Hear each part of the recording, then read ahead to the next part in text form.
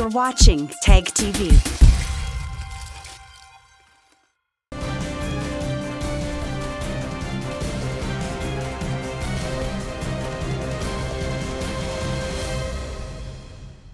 Hello, viewers. Welcome to Newsweek South Asia, a program that talks about breeding of terrorism and its impact on South Asian nations.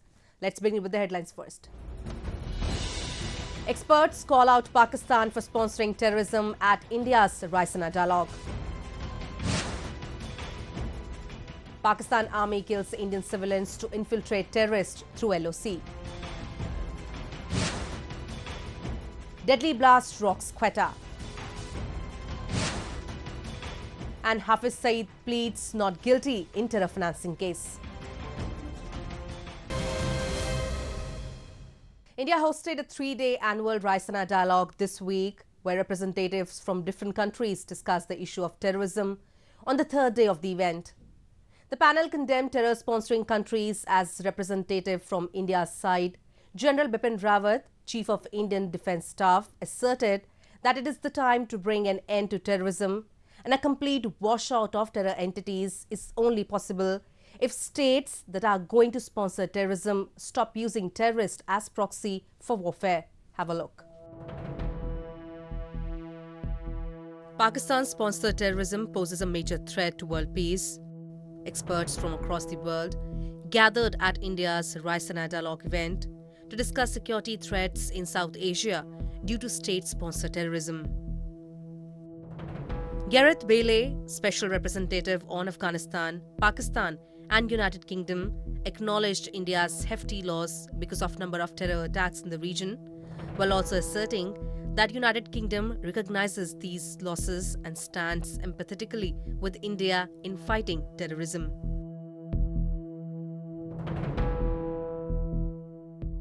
By the last count in 2018, some 340 Indians lost their lives to terrorists, and that is unconscionable. And the UK knows the suffering that uh, a nation can bear when it loses uh, its people to, to terrorist action. So I just want to, to record that and to record our sympathy and empathy with India today.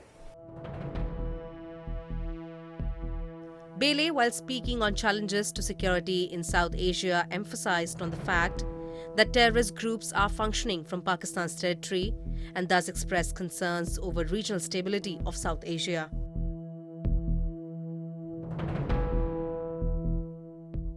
It is absolutely clear that terrorist groups are operating from within Pakistan. They pose a serious challenge to the government of Pakistan and to South Asia's regional stability. He further said that there is a need to combat terrorism in all possible ways to fight proxy groups, terrorism, and extremism. If you're the UK, as you engage and you engage hard, you engage at every level, from the bottom to the very top.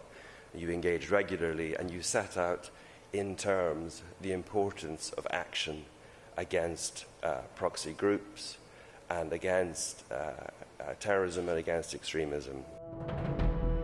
Chief of Defence Staff of India, General Bipin Rawat, also attended the event where he pitched for strong global action against state sponsoring terrorism, saying there is a need to address terrorism from its roots. So this war is not ending. The war on terror is something which is going to continue. We'll have to live with it until we understand and get to the roots of terrorism. While calling out for a diplomatic isolation of those sponsoring terrorism, General Rawat said that the world has to accept that there is a state that sponsored terrorism. Providing shield to sponsor of terrorists by denying their role in terrorism cannot continue forever, he added. Denial of terrorism to say that they are not denying it, they are themselves victim of terrorism, cannot continue for on and on. And I think we have to get the bull by these horns and take them to task. He said the countries which are sponsoring terrorism could not be part of global fight against terror networks. We have to bring an end to terrorism, and that can only happen the way the Americans started after 9 11. They said, let's go on a spree on global war on terror and let the nations join together and fight terrorism together. Well, to do that, what do you have to do? You have to isolate the terrorists. anybody who's sponsoring terrorism has to be taken to task. You cannot have partners who are partnering with you in the global war on terror and yet sponsoring proxies and terror. Further launching a scathing attack on Pakistan, Indian Chief of Defence Staff General Bipin Rawat said that terrorism will not end till the time there are countries which provide funding to it. Terrorism is here to stay. So long as there are going to be states that are going to be sponsoring terrorism, so long there are going to be states that are going to use terrorists as their proxies, make weapons available to them, make the funding for them, we cannot control terrorism. The panel also addressed the violence in Afghanistan and called out Pakistan for sponsoring Taliban. Saad Mohseni, an expert on counter-terrorism, said that Pakistan is deliberately sponsoring terrorism and supporting Taliban that has resulted in more than 8,000 international casualties in Afghanistan. He further said that strong action will have to be taken against Pakistan's sponsored terrorism.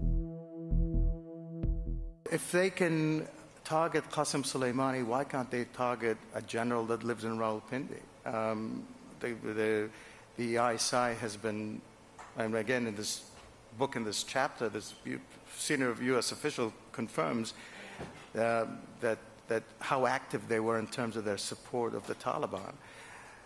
Listen, you, you cannot have a peace deal until the sanctuaries exist in those countries. And what the weapons and training and, and everything else and the funding they receive from uh, Pakistan, it's contributed to, to 8,000 deaths, uh, international um, casualties in Afghanistan. It's not something that uh, you, can, you can ignore. Voicing their concerns with India, the international community has been repeatedly asking Pakistan to take action against state sponsored terrorism. However, despite several warnings of getting blacklisted by FATF and diplomatic pressure from the international community, Pakistan continued to harbour terrorist outfits on its soil.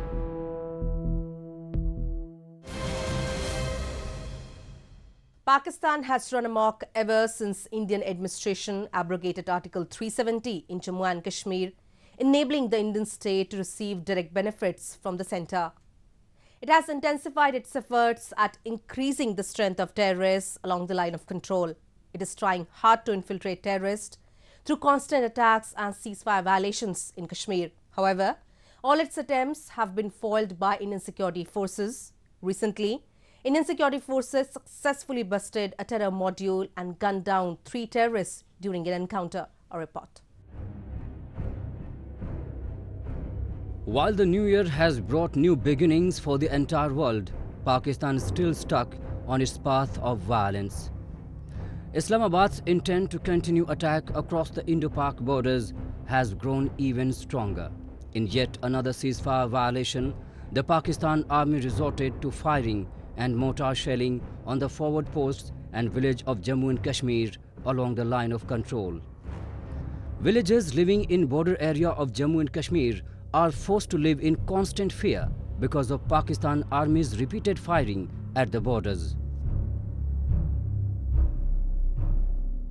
काफ़ी डर का माहौल रहता है और कई लोगों ने तो खाना तक नहीं खाया, जबकि ये फायरिंग चली है खाने खाने का टाइम था तो अभी और बच्चों में डर और खौफ का माहौल है इस वक्त और डर है इतना, हम बता नहीं सकते आपको The Indian Army strongly retaliated against these ceasefire violations, resulting in heavy exchange of fire.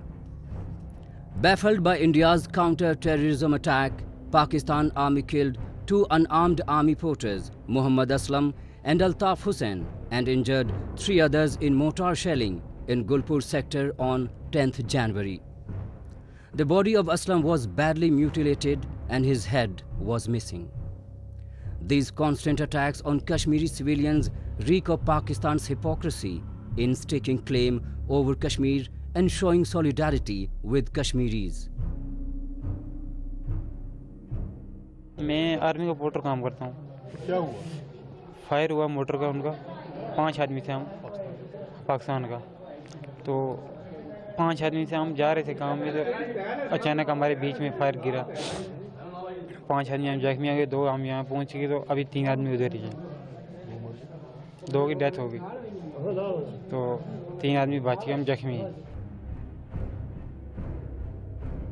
The infiltration of Pakistani terrorists has been a major concern for all the neighboring countries of Pakistan, especially India.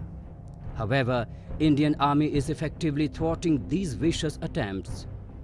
In a major setback to Islamabad, three terrorists were gunned down in a counter-terrorism operation in India's northern Jammu and Kashmir territory on 12th January. Security forces received information regarding the presence of the terrorist in Thrall area of the Kashmir Valley, following which they launched a search operation and gunned them down during encounter.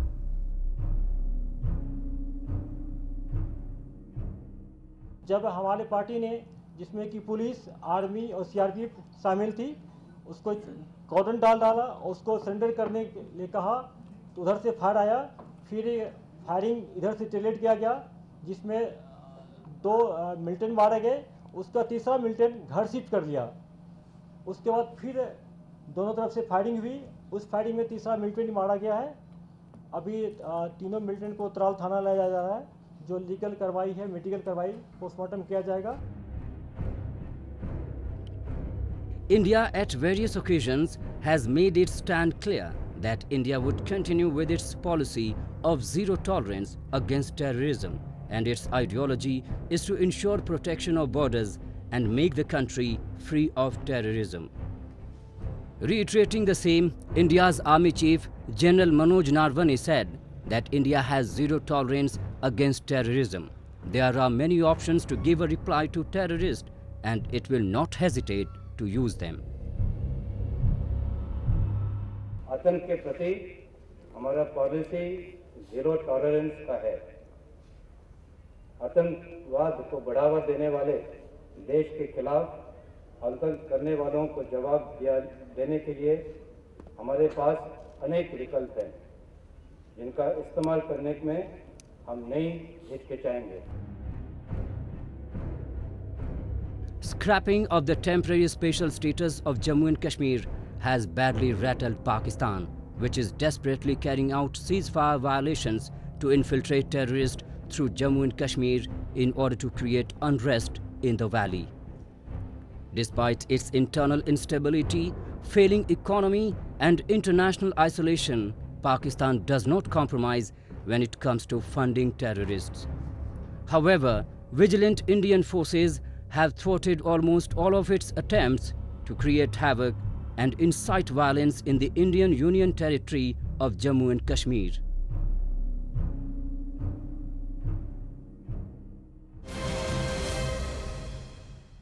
Balochistan's capital Quetta once again suffered through a major setback this week when a mosque in the capital city was hit by a deadly bomb blast during Friday prayers in the evening. The terror attack in the mosque comes just few days after a motorcycle bomb blast in the Liaquat market of Quetta. The repeated terror strikes in the mineral-rich province expose Islamabad's strategic use of terrorism through military and ISI to unleash barbarity on innocent Shiite Muslims of Balochistan and suppress the voices of Baloch nationalists. A blast at a mosque in Quetta in southwestern Pakistan on January 10th killed at least 16 people, including a senior police officer, and wounded 20 others.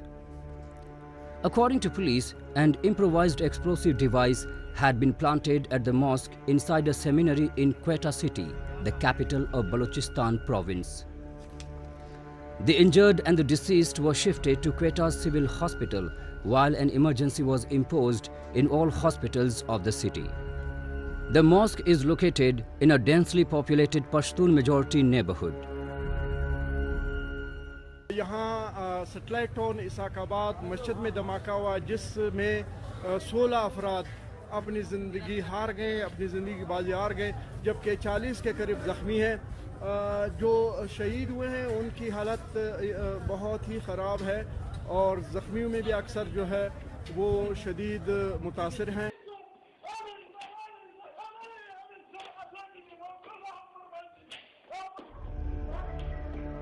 Civilians of Quetta have been facing relentless atrocities at the hands of Pakistan Army and the terrorist groups supported by them. The endless bloodshed and gross human rights violations in Balochistan are leading to complete loss of morale of minority Shiite community in the province. The people have no trust over the provincial government that claims to be taking care of concerns of the Baloch people, but functions at the commands of the central government in Islamabad, whose only wish is to crush the spirit and voices of Baloch community. कर क्या रहे हैं सिर्फ लफाजियों के अलावा कर क्या रहे हैं हाँ? देख लो मासूम सर इतना सा बच्चा इतना सा क्या कसूर था उसका इसलिए कि लोगों के बीच ये कसूर अरे आओ यार बेसी तोड़ो यार। खुदा के लिए हाथ तोड़ता जोड़ता हूँ तुम लोग से बेसी तोड़ो। कब तक ये लाशें उठाते रहोगे तुम लोग? अरे, एक जानवर का भी बच्चा मर जाता है, उसके लिए दुनिया अंधेर हो जाती है। हम लोग तो फिर भी अपने आप को इंसान कहलाते हैं, अशरफ मखलूक। एक इंसानी खून की हुरमत, खाने काबा की हुरमत से कहीं ज़्यादा का दावा करने वाले हम लोग। कब तक ये बेसी कब तक ये खून? आओ यार। Terrorists have been targeting Quetta and other places in Balochistan from past several decades. They have been doing so at the commands and wishes of Pakistan military and ISI that facilitate Tehreek-e-Taliban Pakistan and Islamic State terror groups to operate in the region. Pakistani security forces have been unleashing repressive and bloody inhuman operations over Baloch civilians who are seeking independence for the ethnic Baloch areas of the province. Baloch nationalists are frequently targeted by Pakistani security forces across the province. They have been struggling for an independent state since 1948 and are consistently muzzled or shot down at their slightest protest against the administration. The recurring terror attacks in the mineral-rich province expose Pakistan military and its notorious inter-services intelligence agencies' deadly plans for the region. जिस दिन पे बलूचिस्तान पे कब्ज़ा हुआ उस दिन से लेकर आज तक बलूचिस्तान पे लोग उठाए जा रहे हैं। जो उठाए जाते हैं तो उनकी आ, मशक शुदा लाशें वहाँ पर मिलती हैं। और कुछ लोग हज़ारों के हिसाब से अभी तक लोग बलूचिस्तान पे गायब हैं। उनकी फैमिलीज़ को ये पता नहीं है कि हमारे जो लोग हैं हमारे जो प्यारे हैं वो कहाँ पर हैं और किस हाल में हैं तो इस सिचुएशन पे मैं यही कहूँगा कि बलूचिस्तान की हालत ख़राब से खराब ख़राबतर हो रही होती जा रही है Quetta is the capital of Balochistan province, Pakistan's largest but most sparsely populated province. It is rich in mineral resources and the root of much of the $60 billion China-Pakistan Economic Corridor project goes through this region. Issues like terrorism, religious fanaticism, sectarian violence, corruption, and the threat of nuclear proliferation overwhelm the suffering of the Baloch. While Pakistan and China make huge profits in Balochistan, the local people suffer extreme hardship. Despite its mineral wealth, Balochistan is the poorest region of Pakistan. Ahead of a crucial financial action task force meeting in February this year, Pakistan seems to be badly failing in persecuting for terror funding. The Jamaat al-Dawa and Lashkar-e-Toiba chief Hafiz Saeed has pleaded not guilty in two terror financing cases against him. Saeed had previously also pleaded not guilty in other cases of terror financing. A report. Mumbai attack mastermind Hafiz Saeed pleaded not guilty in two terror financing cases against him as the Jamaat Dawa or JUD chief recorded his statement in a Pakistani anti-terrorism court amidst mounting international pressure on Islamabad to rein in terrorist groups. The Pakistan Counter-Terrorism Department had registered 23 FIRs against Saeed and his accomplices on the charges of terror financing in different cities of Punjab province leading to his arrest on July 17, 2019. Saeed-led JUD is the front organization for the Lashkar-e-Taiba, which is responsible for carrying out the 2008 Mumbai attack that killed 166 people, including six Americans. The cases of terror financing have been registered against Saeed in Lahore and Gujranwala cities in Punjab province on the applications of the Counter-Terrorism Department of Punjab Police.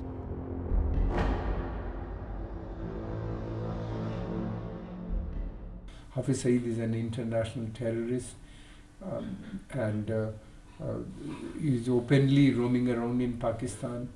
Now at the moment, you know, he may be in house arrest, but uh, but uh, all sorts of facilities are being provided to him. He is being guarded by the Pakistani army, and his organization is funded by the Pakistani um, government, and uh, uh, his people are being trained by ISI, and he is involved in not only uh, terror funding as well as promoting extremism in the region. Under pressure from the international community, the Pakistani authorities launched investigations into matters of the Lashkar-e-Taiba, Jamaat Dawa and its charity wing Falah-e-Insaniyat Foundation or FIF for their holding and use of trusts to raise funds for terrorism financing. At least 56 seminaries and facilities being run by the JUD and FIF in southern Sindh province were also taken over by authorities in the same case. Consequently, Hafiz Saeed, the co-founder and chief of these terrorist groups, was arrested in connection with charges related to terror financing and has been detained at Kot Lakhpat jail since then. In spite of these so-called measures by Pakistan's counter-terrorism department, there seems to be absolutely no curb being put on terror financing and terror activities taking place in the country. Pakistan, you know, the, when the government itself is involved in promoting terror, so one should not expect that Pakistani government or its agencies uh, uh, are involved in curbing the, the, the, militancy. In fact, uh, some measures they have taken, they are just an eye wash.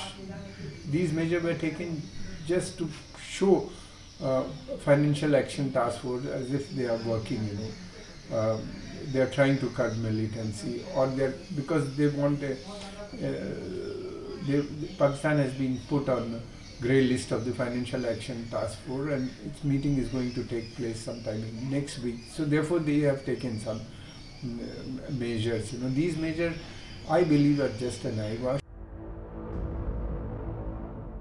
In october 2019 the global terror financing watchdog financial action task force or fatf retained Pakistan on its grey list till February 2020 for its failure to take adequate action against money laundering and terror financing. Besides, the Asia-Pacific group of FATF has already blacklisted Pakistan for unsatisfactory measures to curb terrorism operating on its soil. As long as Pakistan doesn't take significant steps to fight terrorism and proves that it is genuinely severing ties with Islamist militants, there are high chances of it getting blacklisted by the global body in successive meetings of the Global Terror Financing Watchdog FATF. If blacklisted, then Pakistan would most certainly face major financial crisis as the International Monetary Funding or IMF recently informed that blacklisting of Pakistan by the FATF could have serious implications for capital inflows to the country.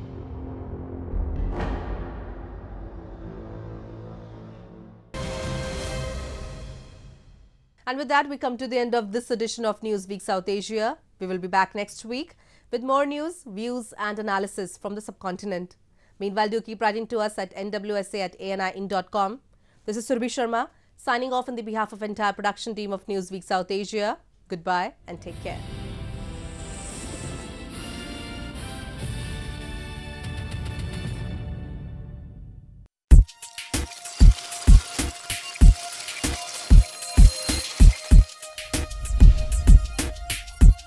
Watching TAG TV.